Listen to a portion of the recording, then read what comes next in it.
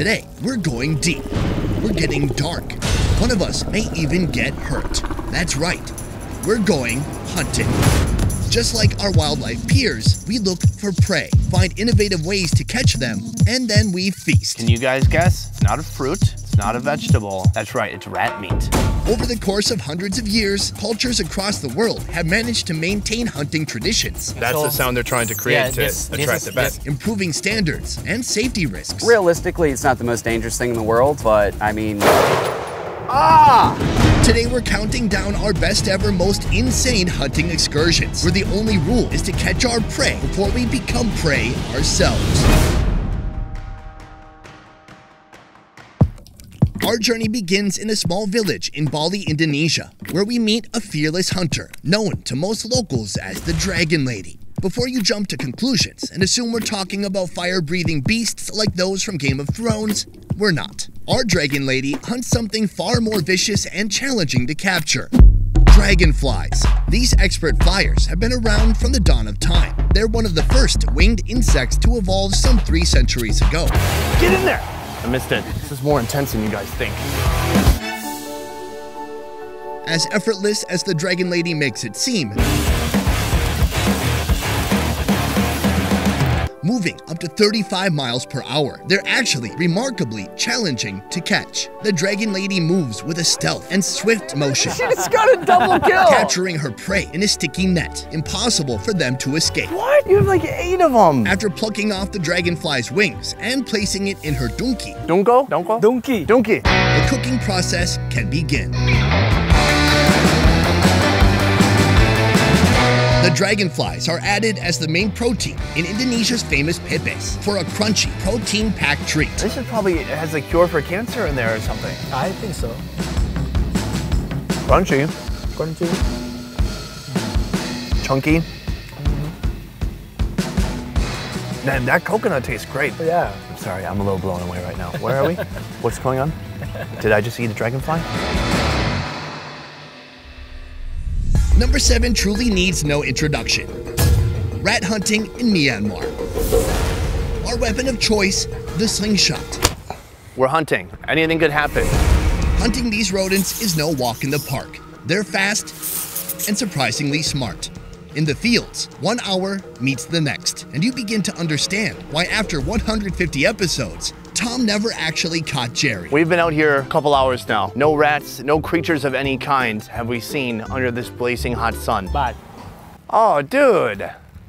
If you just had a bag of rats this whole time, we, you could have just given me, oh, there's blood too. Don't worry, unlike New York rats, these critters spend their lives rummaging through cane fields rather than back alley trash. Myanmar is one of the few countries where rat meat is a staple in many diets. Field rats are high in protein and surprisingly tasty when prepared properly. Marinate in a mixture of seasonings, deep fry or grill, and you'll have yourself a rat a la carte. This is some lungs, heart. What is this even? Is that a liver?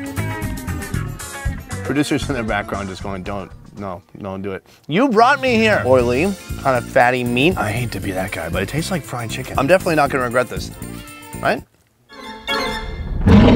He's like, no way you can catch that. It's very dangerous. But he can try. What's the worst that can happen?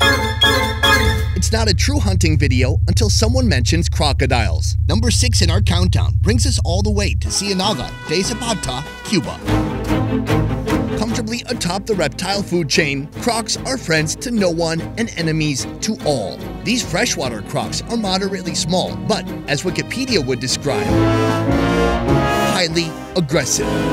We visit a crocodile breeding facility and conservation camp that houses over 4,000 assorted crocodilia, selling a maximum of 100 per year to finance the facility and maintain the crocodiles. My longtime buddy Oro and I are in for the shock of our lives. Oro, listen, you have to approach these What's the reasonable reason to touch to them? build courage. Like any other experienced hunter, we've got to get prepared. Our prey's weakness what should I do? Just, You bop it on the nose, huh? yeah, it's a weakness. Oh, really? Bopping Yeah. them on the nose is there a weakness? You can kill them if you hit them hard in the nose. equipped with Cuba's finest Pinterest DIY catcher pole. No, no! The aim is hook the croc by the neck and try not to get bitten. I'm just gonna pretend like I don't even want to catch any crocodiles.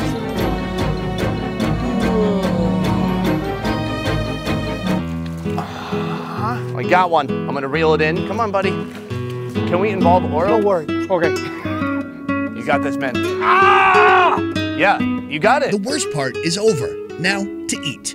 Grilled or sauteed, these crocs suddenly don't seem too intimidating anymore. Bon appetit, my friend.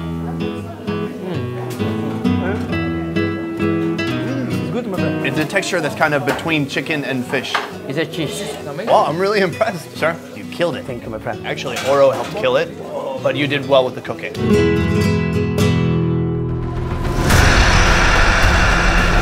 Coming in at number 5, we're fairly certain this creature played the lead role in the Alien trilogy, Warasubo. Spoiler alert, unlike in the 1986 classic, this slimy sucker didn't just pop out of Sigourney Weaver in the epic chestburster scene.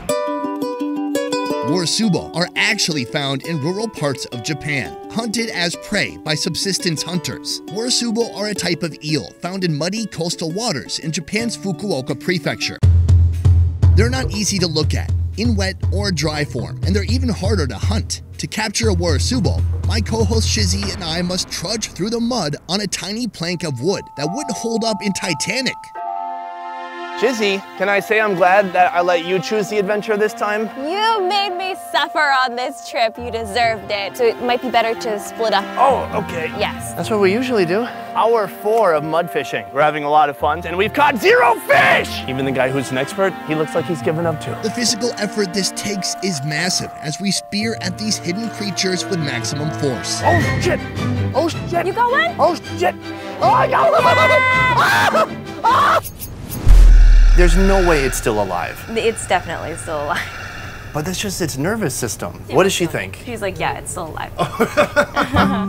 If you really look into their underdeveloped eyes, large mouth, and terrifying fangs, you'll find something truly beautiful. They've managed to swim their way into the hearts and stomachs of those brave enough to look past their frightening facade, It's bold, it's daring, it's alt-right somehow too. Alt-right. Even when consumed raw. Remember, don't think, just chew. It's very chewy. I like it. The taste itself, it's not off-putting, it's not fishy. But honestly, the outside skin is like sandy and coarse. It's like grade one sandpaper. Well, little guys, thank you for giving your life. That was pretty good, actually. The Minahasan people of North Sulawesi, Indonesia are no beginners when it comes to hunting, helping them land the coveted number 4 spot on our hunting countdown. To the sloping lands and lack of water, farming is nearly impossible. They've had to learn how to live off the protein available to them in their region. I heard this market was wild and it does not disappoint. Protein like snakes, rats, and bats. So how do we hunt bats? Step 1. Make a net from 17 foot tall electricity posts. We're gonna put the bamboo up and hopefully those bats will get stuck. To lure the bats into the net, the crafty hunters create a high-pitched bat-like squeal using some wood and a machete. That's So- the sound they're trying to create Yeah, to this- this attract is- the bats. This- Step 2. Hunt in the dead of night, relying solely on sound and not sight. How do they know where the bats are? There's firefly over there. Does that mean bats? Yeah, it means bats. It's pitch black, and any light will scare away our prey. Without the fire, it's like completely pitch black. It's a little bit eerie. Sounds hard? That's because it is. All right, we're looking up in the tree. Right now, they found a tiny bat out there. They're using the piece of wood on the knife to create that bat sound, Guys, they're about to put up the net. Can we turn off the light? But they've got the net spread apart, hoping something's gonna fly through. And right now, he's just kind of moving the net back and forth. I know you guys can't see anything. What is that sound? Oh, oh we got it, we got it, we got it, we got it. We just got one here. Wow. We got this tiny bat. The Minahasan people have perfected the art of hunting these vampires without compromising safety or technique. Oh my god, sounds like a baby crying.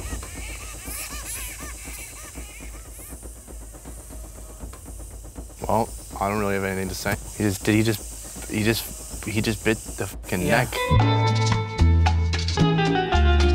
We've caught our meal, and now it's time to cook. Preparation is extremely important, and luckily for us, we have Indonesia's premier bat chef, Jelly. Jelly inspects the meat, The male one tastes better than the female one. Did she just rip off its penis? Yeah, it is. chops it up, and throws it in a steaming wok with plenty of Indonesian herbs and spices, creating a green lantern like broth and fresh aroma. This smells, oh my gosh. I know, right? Tons of fresh flavors and scents. Look at this. I've got this stretchy piece of bat. what is she? The the flavor, it's like a very dark meat, kind of organy. The most weird part is that, you know, I just ripped open the, a bat's head to get a tongue. Oh. Otherwise, if I was just blindfolded and I had to eat it, I'd be like, I don't know, what is it? You like already pork, know what maybe? one- It's just the fact that it looks like this that I think might be disconcerting to some people. Not me. Not me. If you aren't feeling fear creep through your body yet, Guys, can we keep going? I don't know if we can keep going. allow us to introduce number three on our countdown. Deep in the violent Pacific Ocean, we find a sea creature that most locals don't even know exists. Isopods. Though they're commonly believed to be the scavengers of the sea, these bottom dwellers are actually carnivores, feasting on slow moving or dead sea animals. Their cockroach like appearance doesn't make them exactly appetizing, but their taste is unexpectedly decent. You gotta be a psycho to eat this. Our team is taking on the aggressive sea, battling the waves and motion sickness for a taste of one of the world's most unique delicacies. After pulling up our net from the deep abyss, we get what we came for. Mr. Hasegawa expertly pops these suckers at the midsection, releasing the stomach's contents and an overly pungent aroma. You gonna tell him? Oh no! Throw these bad boys right in the boat's chimney hole and wait until they're golden brown or jet black. And enjoy. Here we go. It's a little sweet, a little bit of exhaust fumes and charcoal, and then a little bit of crabby kind of flavor. And I think we're good. And I think you guys feel good. You feel resolution. We went out there, we got the thing, I ate it. In at number two on our list is unsurprisingly Burmese python hunting in the Florida Everglades. While these pythons do in fact originate from the Southeast Asian country of Myanmar, since the 20th century, they have become an established breeding population in this southern Florida region. They are currently considered an invasive species preying on a wide variety of birds, mammals, and crocodilian species. While non-poisonous, according to Siri, I get bit almost every trip I go down there. It's extremely painful. It punctures down in a muscle. They actually do have a little bit of venom on their back lands. It's gonna swell you up, it's gonna irritate you, and their long teeth breaking off in it. You can get infections, you gotta cut them out. Why are we doing this? This is exactly what I wanted to hear before heading out on our six hour, middle of the night hunt with Florida's own professional hunter, Mike, the Python Cowboy. Be ready to wrestle it. It's probably gonna double back and try to attack you. Don't let go of it. Don't throw the snake. What I do is I stay behind the snake. I dance around it and pick my moment to grab its head. Seeing a branch and thinking that it's a snake, and it's not. My ADD is through the roof. We are literally in alligator infested waters right now. Do you feel this muck you're walking in? Yeah. They can actually bury themselves in it where you'll barely even see them underwater. Generally, snakes like to find shelter underneath any kind of random object. We're gonna flip these over and see what we can find underneath. Yeah, nothing. Hour four of hunting, and still nothing. Hold on, is that something? What do you got? Hold on, hold on, hold on, hold on. Oh, that's python, python, python. After hours of tirelessly searching, There it is. There's one. He's it on is. the move. He's on the move. afraid to even blink, Nice size. we spot our predator. Grab Should I our tail, bring bring, it it up? up in front of the truck. My master has taught me exactly what to do in this moment. Stay calm, No, no, no, no, no. move swiftly, approach from the back. Don't let go of it. Don't throw the snake. Oh, should I? Okay. You didn't like that, huh? The key is to not hesitate. Time to execute. Don't jerk away if it bites you. you got lucky. Oh, son. no. Go for it. Go for it. Don't hesitate. Beautiful. Not I'm gonna go get a bag. All right, Good you get a bag. I'll just hang out here. We'll talk. The good news is once you de-skin the snake, it looks, well, exactly like a snake. Cut the monster into equal pieces. Season with your special snake sauce and grill. If you just kind of use all the tools, hands, forks, knives. These chunky slices are hard to chew, but are packed with flavor. I like the sauce, and the sauce is a good pair for the meat itself. It goes well with it. Do Pretty damn good. Do you think this will be your, your new thing? No. Maybe you c- become. Oh, okay. No. Our final hunt takes us to the wild, wild southern USA. In these parts, hunting is a trade learned mere moments after teething. In Alabama, the animal most commonly hunted is the wild boar. These feral hogs are among the most destructive, invasive species in the United States today. They destroy two acres of peanut in one night. taking down prized agriculture, eroding soil, and feasting on any livestock in sight. The first order of business is making sure you're equipped I switch off the safety and I slowly squeeze the trigger. and prepared to handle a hunting rifle. If I can teach you one important lesson, oh no, do the exact opposite of what I did. Can you feel it?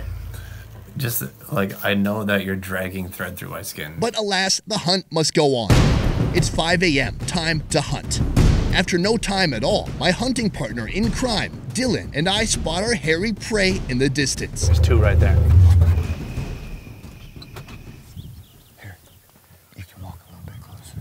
Get into proper form. Find your breath, aim, and fire. Now,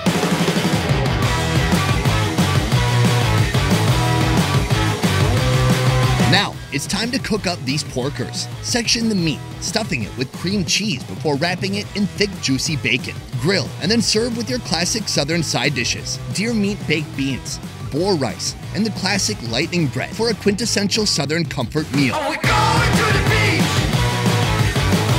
I like it. When you put it all together, the bacon, the cream cheese, the jalapenos, the taste is awesome. We did the hog hunt, we got the hog, and finally, it all led to this. Hanging out with you guys and eating some good ass food. Cheers to that. Amen. And cheers also. Yeah, yeah, I love it. Thank you guys.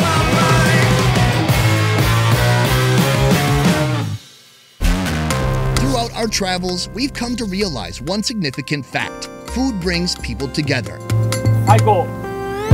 Whether that be the preparation and cooking, the meal itself, or how the food was acquired, it promotes fraternity and often fosters the principles of sustainability. People across the world hunt for varied reasons, whether that be because hunting is the only resource they have to get their food, or because it's a farm to table activity passed down from generation to generation. There's something to be said about putting in the work and reaping the reward. Guys, that is it for this one. Thank you so much for watching. We'll see you next time.